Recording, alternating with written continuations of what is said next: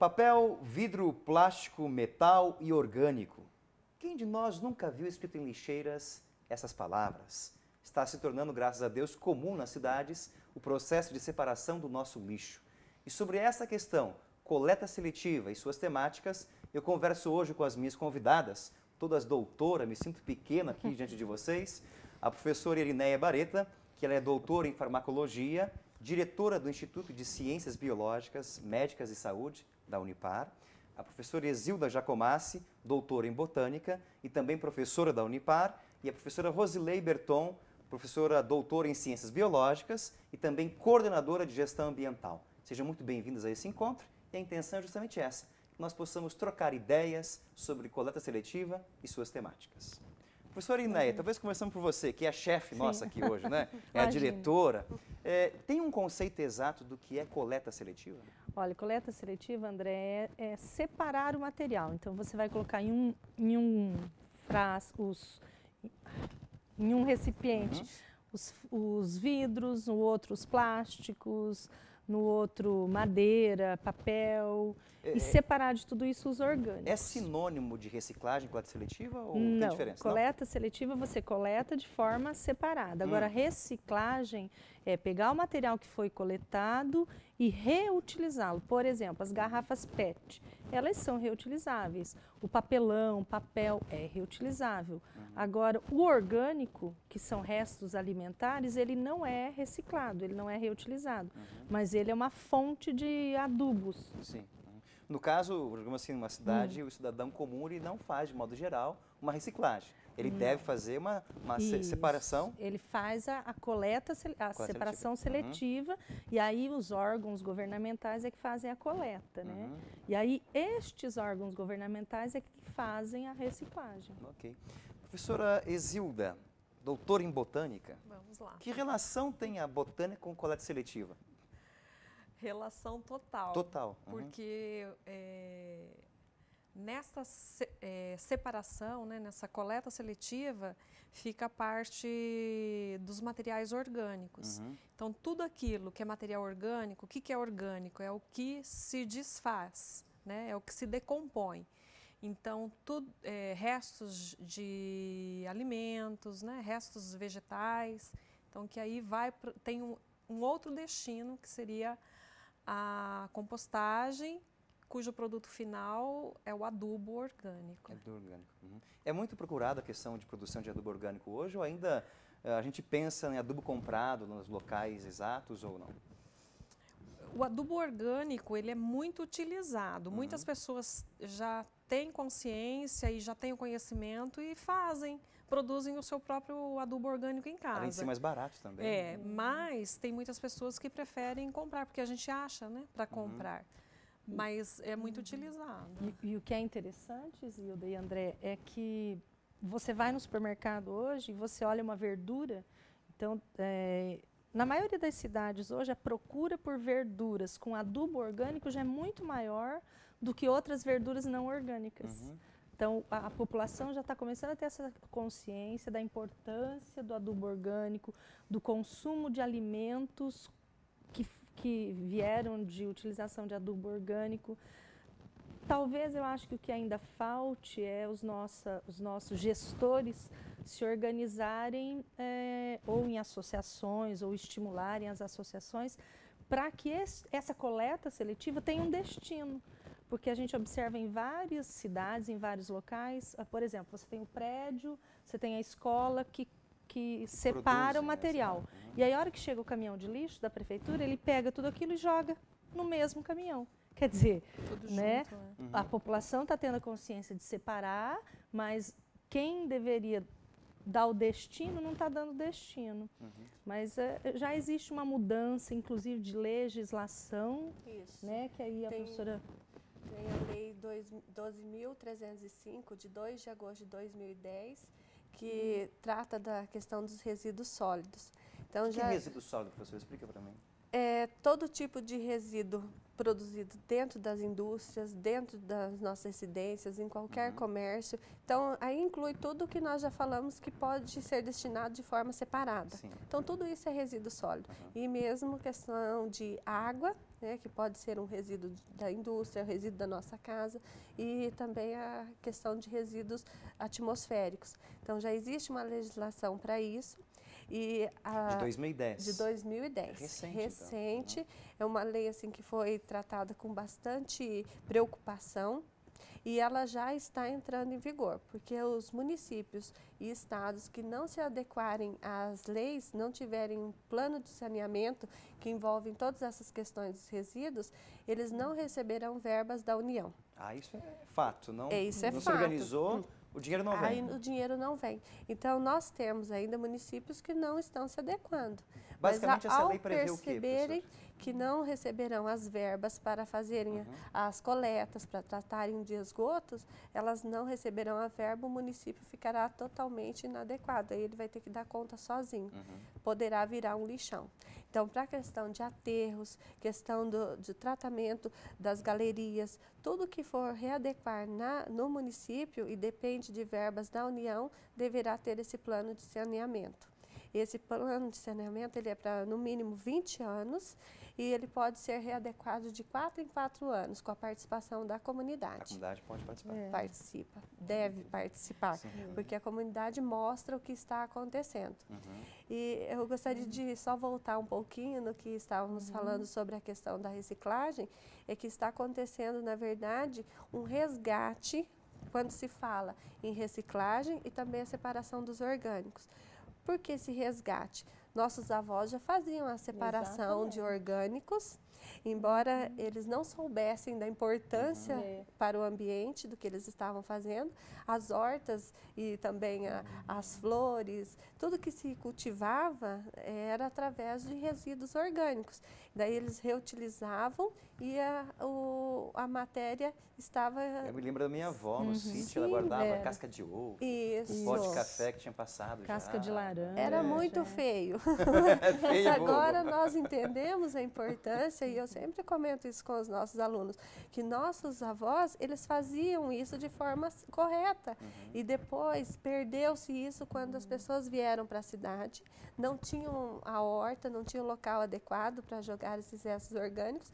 E aumentou, na verdade, o consumo, porque daí nós utilizamos mais plásticos, nós utilizamos mais eh, alumínios, e nós acabamos misturando tudo Uhum. certo? Então isso foi que dificultou o vidro. o papel ainda ele pode entrar na compostagem, né? Uhum. Dependendo do tipo de papel, que dependendo do tipo de, de, de tinta que se tem ali, ele pode entrar também no, no processo de compostagem. E hoje nós estamos resgatando essa atividade e mostrando da importância e como isso era adequado. Sim. Né? Interessante, um, um Só retorno, que, é, né? É. só que no caso do papel, a viabilidade maior é de que ele seja reciclado. Isso. Uhum. Porque a cada tonelada de papel reciclado, você deixa de cortar e utilizar eh, a média entre 16 e 30 árvores adultas. Toneladas, puxa vida, olha só. Então, a gente tem que, que separar e reciclar mesmo, Uhum. porque a natureza está pedindo isso, inclusive, né? É, na realidade, a gente tem visto aí a, a disciplina de saúde, de educação ambiental, saúde ambiental, desde o colégio, né? Desde as crianças na pré-escola, elas já falam muito E em acho que é educação exatamente aí que ambiental. começa a mudança, né? Perspectiva de mudança ambiental. Eu acho que hoje a consciência das crianças ela é muito maior do que dos adultos. Uhum. É, a, a criança ela tem uma consciência ambiental hoje muito maior do que os adultos. Eu vejo a faixa etária aí dos 28 até os 45, 50, que a preocupação não é tão grande, não. Sobre essa preocupação da geração nova agora, a gente vai conversar no próximo bloco. Nós vamos para o primeiro intervalo do programa Ponto de Vista. Hoje, conversando sobre coleta seletiva. A gente volta já já, não sai daí. Voltamos com o segundo bloco do programa Ponto de Vista. Hoje, conversamos sobre coleta seletiva com as professoras Irineia, Exilda e Rosilei. Muito bem, nós conversávamos no intervalo e a professora Exilda nos deu um, um gancho para a nossa conversa aqui, professora, de um projeto que foi feito pela Unipar com relação à a construção de hortas medicinais. Como é que foi esse processo, professor? É, a gente desenvolveu um trabalho em uma escola do município é, com a implantação de uma horta medicinal. Uhum. E para a implantação da horta, né, há necessidade de você adubar a terra, de preferência com o adubo orgânico. Então aí as crianças se envolveram elas também. Elas tinham que produzir o adubo é, orgânico. Então elas se envolveram também com a compostagem. Então da da cantina, né, saíam a, os restos. Uhum é, dos alimentos que, que eram sobras, iam para a compostagem e da compostagem o adubo orgânico para a horta. Então, o que a gente observa, que a gente estava discutindo, que as crianças, trabalhar com criança é muito bom é. e as crianças elas respondem rapidamente, né? E aí levam para casa a informação e esse projeto é, culminou depois numa feira de ciências, onde as crianças trouxeram a comunidade externa para dentro da escola né? É, uhum. os, os, familiares, enfim. Isso remete que a professora Rosilei tinha dito, que nós perdemos esse, é, esse processo de, de, de, aproveitar os alimentos para a compostagem, né? E agora retomou com as crianças. Uhum. É, só tem mais ou menos ideia ou uma, uma, opinião, por que, que nós perdemos esse processo de reutilização? Eu acredito que seja pela saída da, das pessoas do sítio e uhum. a vinda para a cidade. Então, essa migração para um outro ambiente onde não tinha um espaço adequado para continuar com aquela cultura que se tinha antigamente. Sim.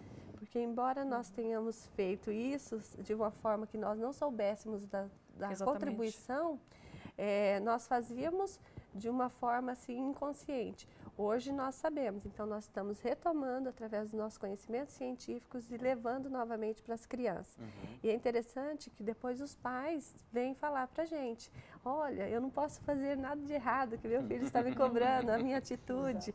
E isso é o legal, mesmo. porque o pai, ele acaba se, ele acaba se policiando uhum. para fazer as coisas de forma adequada novamente. O melhor caminho, então, é, é exemplo, trabalhar a questão da, da, educação dos pequenos é. mesmo. Isso, né? é o mais fácil. Uhum. E sobre a, a falta de espaço que hoje nós temos na, na cidade, né? porque a maioria mora em apartamento e quando é casa também o espaço é pequeno, mas hoje com dois vasos na residência você consegue fazer uma pequena compostagem. Será que essa, né? essa ideia de falta, de falta de espaço não é um pouco de desculpa, professora? Não?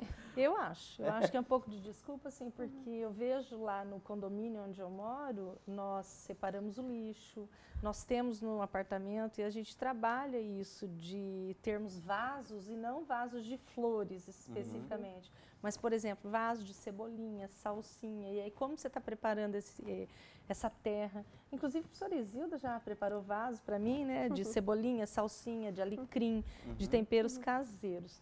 E eu acho que esse retorno, né, é igual a professora Rosilei colocou, ele é importante porque é uma consciência mundial. Hoje, é, no mundo se fala nisso, em conservação de meio ambiente, nessa consciência.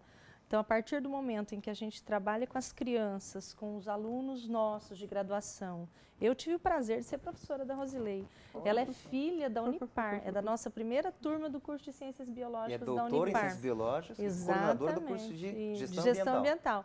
Então, assim, desde o começo, a Rosilei, a turma dela, era uma turma que é, entendia isso, que é, divulgava, que trabalhava com essa consciência de preservação de meio ambiente, de reciclagem, de coleta seletiva. Então, acho que aos poucos a gente vai colhendo os nossos frutos, uhum. né? E, e, esse é o papel fundamental da universidade. Sim. Igual a Isilda colocou, de ir lá na escola, de trabalhar com a criança, é, e nós, professores, dentro da universidade, trabalharmos com os alunos. Deixa eu ver se ela foi uma boa aluna tua, professora Rosilei. É, a impressão que eu tenho é a seguinte, eu sou bem leigo no assunto de questão de gestão ambiental, uhum. meio ambiente, mas me dá a impressão que parece que o ser humano do século XX ele nunca se ligou que os recursos poderiam se acabar. E agora, não é um tanto tarde ou não? Qual a leitura que você faz disso? Ah, eu acredito que ainda haja tempo. Há tempo. Sim, ainda há tempo. É, a questão do que se pode reutilizar está sendo bastante valorizado. Uhum. É, e mesmo porque procura-se, através de tecnologias, reduzir custos. É, extrair, de repente, se torna mais caro.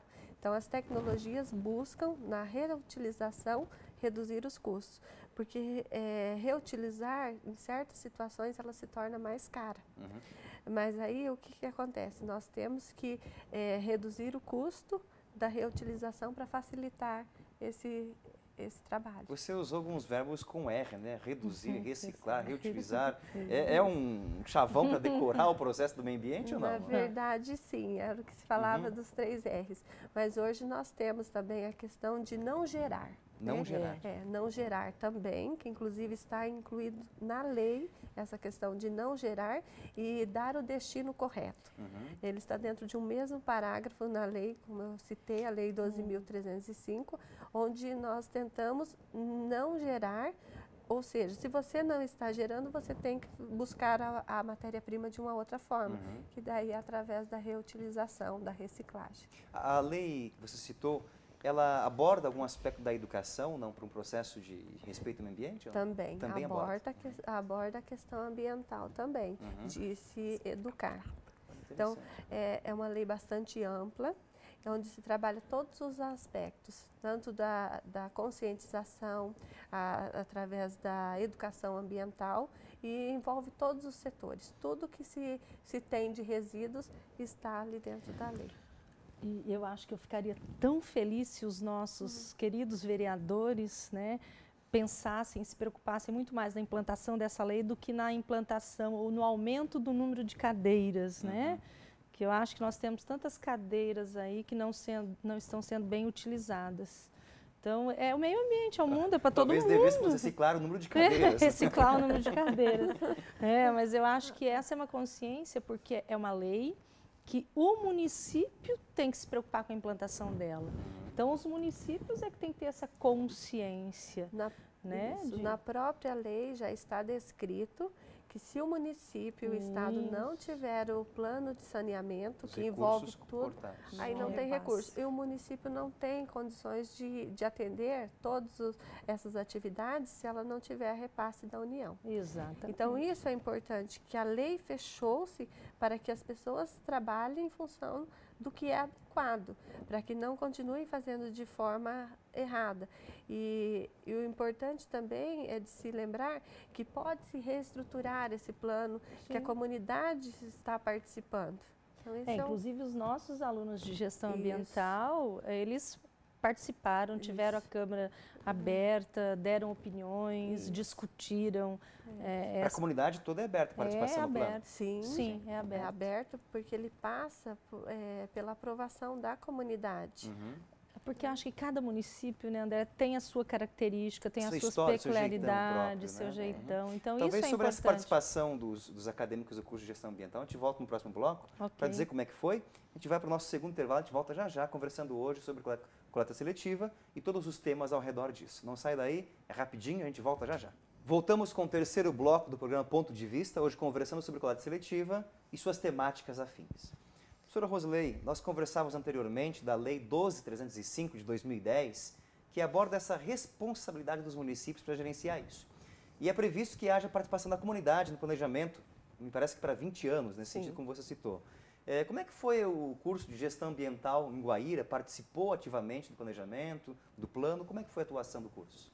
Nós fizemos na prática tudo que foi ensinado na teoria para eles, né? uhum. né? Porque o plano de saneamento, que é chamado de plano de saneamento ambiental, ele foi criado com a participação da comunidade e foi o momento em que os nossos acadêmicos puderam dar opiniões, é, que através dos dados que foram levantados, que eles tinham na prefeitura, aí nós pudemos é, dar opiniões do que poderia ser feito durante esse desenvolvimento do plano. Então foi bastante importante porque o aluno ele vivenciou o que existe de resíduos, como que é um aterro, uhum. como que se faz um, um, o tratamento de esgoto, como que pode ser feita a captação da água, de forma que cause menos impacto para o ambiente. Então, essa... Sobre o impacto no meio ambiente, professora Isilda, eh, qual que seria a grande contribuição da coleta seletiva para a natureza? Bom, repetindo das árvores, uhum. né? se você recicla uma tonelada de papel, você deixa de usar entre 16 a 30 árvores adultas na natureza. Então, você poupa essas árvores. Para uma tonelada de vidros é, que você recicla, você deixa. São 100 toneladas, né? Então, vou voltar. Uhum. Para 100 toneladas de vidro que você recicla, você deixa de retirar uma tonelada de petróleo da natureza. Uhum. Né? E para o alumínio, para mil toneladas que você recicla de alumínio, você deixa de explorar é, 5 mil toneladas de minério. Então, é, a proteção, né, a reciclagem leva à proteção é, muito significativa da natureza. Você deixa de mexer na natureza. Uhum. Né? Até sobre e é isso que ela quer. Essa importância Exatamente. tão grande de, de, de, preservar. Eu lembro que uma vez entrou uma discussão, não lembro onde foi, hum. acho que se não me engano nas normas da BNT, sobre questão de, de trabalhos, dissertações, TCC, etc., que estavam querendo incluir que se pudesse utilizar o verso da folha para fazer os trabalhos para preservar o meio ambiente. Então tem a ver com esse processo mesmo de respeito, né? Tem e também, André, hoje tem algumas instituições, algumas universidades onde você não posta mais a tua tese, a tua dissertação naquele formato uhum. enorme, grande, em forma de um caderninho, uhum. frente e verso, com duas páginas. Uhum. Ou então, junto com esse caderninho, você faz um CD-ROM sabe? Então, acho né? que é, é uma forma também de trabalhar consciência, conscientização, uhum. uh, ah, para que não se utilize tanto papel. Eu acho que o esforço também do é, Supremo Tribunal Superior de Justiça também para colocar os, os, processos online também hum, digitalizados para isso também, né? É. Bom, e para isso a Unipar contribui bastante, porque uhum. hoje, por exemplo, nós temos praticamente todos Tudo os nossos processos online. Online. Né? Projetos, pareceres, a, até a, a nota do aluno, tudo, tudo online já para então, é, do processo de, de respeito. Isso. E a questão, a gente fala online, lembrei uhum. computador, como é que fica a questão do lixo eletrônico? É, uhum. as empresas que fazem a coleta, a coleta do lixo não tá. recolhem, não? Não, não? É, nós temos, o lixo eletrônico ele tem uma destinação diferenciada. Hum. A Unipar tá, ficou durante 15 dias trabalhando aí com a Semana da Coleta do Lixo Eletrônico. Os alunos do curso de Sistemas de Informação uhum. fazem essa coleta, eles dão uma destinação própria, tem uma legislação específica, específica então é isso. é diferente. Então se eu pôr, por exemplo, um lixo eletrônico lá no meu lixo caseiro, o lixeiro não hum, leva? Quer dizer, na, leva... na realidade ele leva, mas aí uhum. ele vai estar tá contaminando o teu aterro, o teu famoso lixão. É. Né? Uhum. A mesma coisa acontece com o lixo hospitalar. Né? O lixo hospitalar também tem um outro destino, é, tem uma legislação própria, o lixo hospitalar precisa ser incinerado. Então, nós temos é, empresas especializadas na coleta de lixo hospitalar. É, e é desagradável e é assim falta de consciência da própria instituição de saúde se ela não faz isso. Uhum. Mas a vigilância sanitária, ela, ela contribui muito com isso. Então, ela foi a, a, o primeiro lixo que teve um destino, que teve uma coleta seletiva implantado no Brasil foi o lixo hospitalar. hospitalar. Uhum. Senhora Zilda, você comentava de alguns dados de utilização e respeito à natureza. Há dados também de tempo de decomposição de alguns materiais ou não? Sim. Sim? Hum. É, para vidros, por exemplo, é em torno entre 100 a 200 anos. Mil? Para né? papel, é, três meses. Então, uhum. ele é uhum. biodegradável, né? É, alumínio, acho que são mil anos. Alumínio é, é mil, mil anos. anos. É mil anos o mil alumínio. Anos. Uhum. Mas de todos o vidro é o que menos degrada, é 10 mil anos um vidro demora? 10 mil? 10 mil anos, olha lá. Então a informação foi trocada. É, para plástico. É, plástico, plástico é entre 100. Não, para plástico entre 100 e 200 anos. Para vidro, vidro, é o que mais. É o vidro é o material demora. que fica mais tempo é, para se decompor. Uhum. Que eu acho que nenhum de nós vai pegar nenhuma. Ah, eu gostaria. Ai, só se for lá de trás. É, de trás sim é possível, não né? Gostaria não. Mas eu acho que. Professora Rosilei, é, com relação ao aparato legal do Brasil, você acha que o Brasil está no caminho certo do processo de reciclagem, de coleta seletiva? Sim, nós estamos engatinhando ainda, né? Uhum. Mas as coisas vão acontecer. É, às vezes as pessoas comentam assim, ah, não adianta separar porque depois misturam tudo. Mas a gente observa que de manhã o catador sai passando de lixeira em lixeira uhum. e o que uhum. já está separado ele consegue levar. Então, nós temos um percentual de 99% de reciclagem de alumínio, que é da caixinha, 99%? da latinha. Sim, uhum. 99%. Então, é altíssimo. Mas Uma vez eu vi uma propaganda na televisão diz que o Brasil é o campeão de reciclagem de, de latinhas. De latinha. Olha, é só que é, por um lado fantástico porque se recicla e por outro é devido à pobreza. Hum. É o índice de pobreza uhum. que faz com que isso aconteça. Mas a contribuição é muito alta para que eles possam fazer e o importante é que nós façamos a nossa parte. Sim. Nós temos que separar.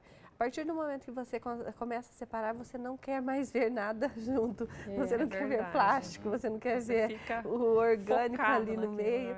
E se nós fizermos isso, deixe lá na sua lixeira separadinha, que com certeza o catador, o catador passará ali, vai levar e ele destina para o local certo. Porque o alumínio ainda é um dos materiais mais fáceis deles conseguirem destinar. Sim. Tem é. várias empresas que Inclusive, já maior valor. Isso. Inclusive em Curitiba, na feirinha, aos é. domingos, tem é, dois, um casal que eles só vendem produtos artesanato, artesanato é, blusa, uhum. bolsa, uhum. enfeites, enfeites para casa, Isso. só com latinhas e com aquela a tampinha. A tampinha. Muito interessante. Tem muitas famílias que, eh, que, na verdade, sobrevivem dessa questão de, de fazer o artesanato, uhum. né? Uhum. Que também deve ser valorizado, reconhecido mas é, não dá conta de tudo, né? É. Embora não dê conta de todo, todo o lixo que nós geramos.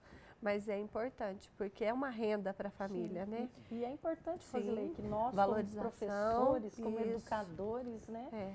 Porque é muito fácil você falar, mas é. eu acho muito mais fácil você mostrar é. com atitudes. Isso. Então, se nós, educadores, se os nossos professores universitários não reciclarem, não separarem o lixo, como é que eles vão cobrar dos é. seus alunos uhum. ou dos é. seus funcionários? É. Eu, eu penso assim que hoje quem não quem está alienado, que não quer se envolver com nada, eu acho que o mínimo que cada um pode fazer é separar, separar o lixo, lixo, seco, não precisa nem separar, é. fazer a coleta seletiva, né? separar uhum. o, o, os tipos, papel, uhum. madeira, plástico, vidro alumínio, mas o mínimo, o mínimo que cada um em sua residência pode fazer é separar o lixo seco do, do que a gente chama do lixo úmido. Uhum. Que o úmido é o orgânico, uhum. né? que tem uhum. outro destino, destino, e não a uhum. reciclagem. Talvez com essas ideias, então, de, de a gente dar o exemplo, né? e justamente Sim. de cada um fazer a sua parte, a gente vai ter que encerrar nosso programa. Uhum. Eu aprendi bastante com vocês, foi bem interessante, espero que vocês em casa também tenham levantado questionamentos sobre o destino dos nossos lixos. Ou melhor, daquilo que talvez não seja lixo na realidade, mas que possa ser utilizado para várias coisas. Hum. Obrigado pela presença de vocês, fiquei muito lisonjeado pelas discussões levantadas. A você em casa, obrigado pela audiência, um forte abraço, até mais.